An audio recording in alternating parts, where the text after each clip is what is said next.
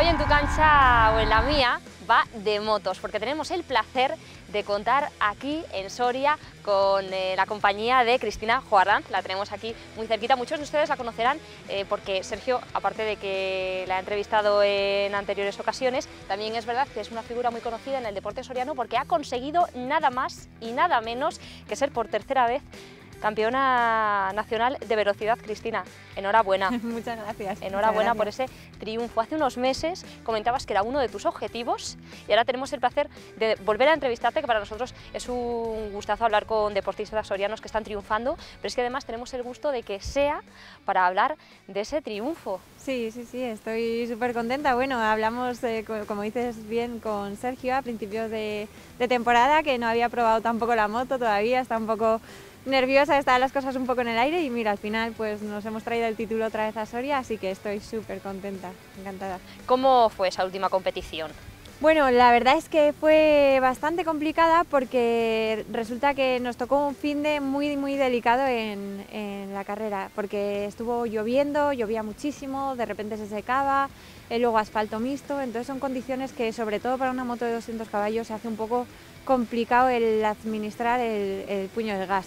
Entonces, bueno, un poco difícil, lo pasé realmente, si puedo decirlo, un poco mal pero al final el resultado fue el que queríamos, así que súper contento todo el equipo. Al final el esfuerzo tiene su recompensa A ver, sí, sí, sí. y hablabas. Cristina, precisamente de esta moto y es que este año fue un año de cambios, precisamente por uno de ellos, este cambio de moto, ¿no? esta Suzuki que tenemos ahora, ¿no? ya en la anterior entrevista tuvimos la oportunidad de verla en vivo y en directo y podemos decir que te ha dado buena suerte. Sí, sí, sí, la verdad es que, a ver, cuando la visteis estaba toda vestida de calle, que me acuerdo que la traje todavía con los faros, no tenía ni hecho el rodaje siquiera, y tenía miedo porque yo iba con la BMW muy bien, muy a gusto, la verdad, y corría mucho, y de hecho corría más que esta, porque en velocidad punta tengo una velocidad punta marcada con la BMW que es 15 kilómetros superior a esta, pero sin embargo al final he conseguido ir más rápido con ella, con, con la Suzuki.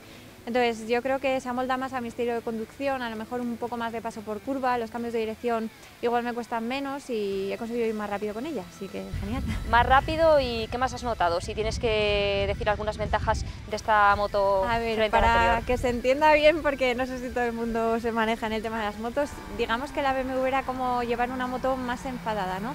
Y e- esta baila más conmigo, va más acorde a que le digo, venga, vamos a entrar en curva, pues ella viene, ¿no? La otra era como, vamos a entrar en curva, y dice, no quiero, pues sí. era más como lucha, lucha con ella, pero bueno, que también era buena moto. ¿eh? Estamos a puntito de acabar el año, ¿qué balance haces, Cristina? Bueno, el balance desde luego es positivo, eso está claro, está, está visto, pero quería un poco más, ¿no? Quería haber dado el paso, como hablamos en su día, de haber estado en el Nacional de Chicos, pero al final no, por una circunstancia o por otra no ha podido ser, sobre todo, pues eso, eh, principalmente por, por falta de, de patrocinador económico, ¿no? Y, que eso no me ha permitido a lo mejor entrenar todo lo que necesitaba para, para poder estar a nivel. Pero ya ha empezado la pretemporada, ya ha empezado nuestro 2019, que yo ya tengo ahí la mirada puesta y estoy empezando fuerte a ver si para 2019, ya que el 19 es mi número, a ver si también es mi año. Claro que sí. Esperemos que 2019, como bien dices que es tu número, te dé mucha suerte. ¿Qué pasa con los patrocinadores que acabas de comentar? A ver, es un tema complicado. Está bien porque en Soria yo estoy muy agradecida, la verdad, porque me apoya, tengo el apoyo detrás de la Caja Rural de Soria y estoy encantada.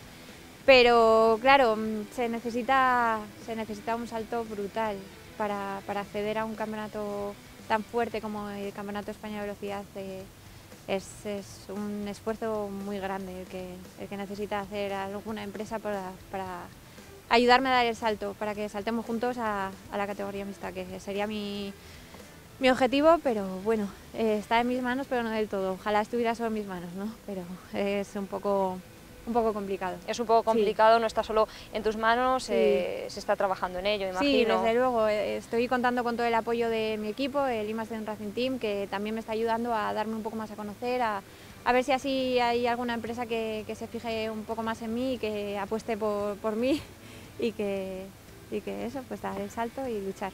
Seguir luchando. Seguir luchando. Ahí. Y entrando un poquito más en esa faceta personal, hemos hablado ya por supuesto profesionalmente y aunque como decimos, ¿no? pues mucha gente te conoce aquí y ya te hemos entrevistado en varias ocasiones, así que mucha gente digamos que tiene ya algunas pinceladas de tu vida personal, pero bueno, a día de hoy, ¿cómo compaginas tu trabajo con las motos?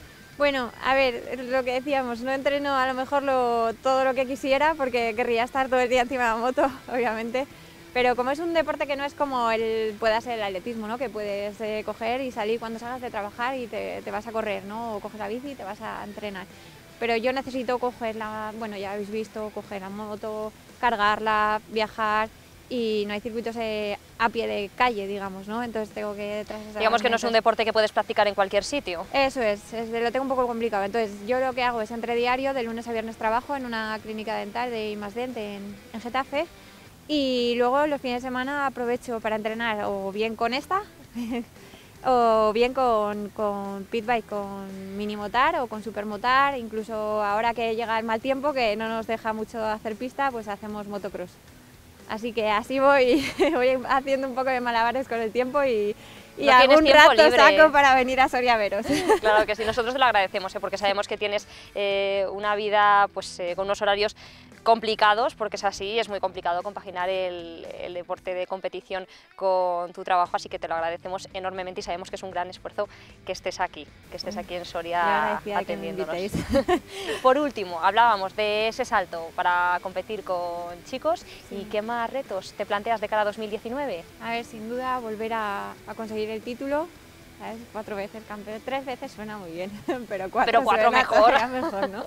Entonces, eh, volver a conseguir el título estaría, estaría genial. Y si consigo meterme en una parrilla, ya no digo de ganar, porque obviamente es eh, un sueño inalcanzable para mí, eso es otro nivel al que yo no puedo acceder, ¿no?